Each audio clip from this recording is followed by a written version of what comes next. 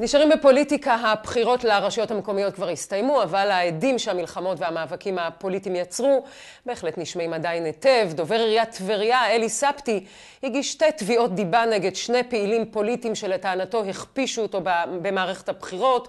שופטות בית משפט השלום פסקו לשני הנתבעים סכום של 140 אלף שקלים כל אחד. לקחו עובדות וכתבות מגוגל ועיוותו וסיפרו וכתבו שהוא משדל קטינות וסוחר סמים והורס משפחות וגנב ועבריין מס, מה לא כתבו? ולא רק עליו, על הרבה אחרים. פסק הדין קיבל את התביעה במלואה, לרבות החובה שלהם להכחיש ולפרסם הכחשה של כל מה שהם כתבו. ככל שהם לא יעשו את זה, אנחנו נבקש גם את ביזיון בית המשפט.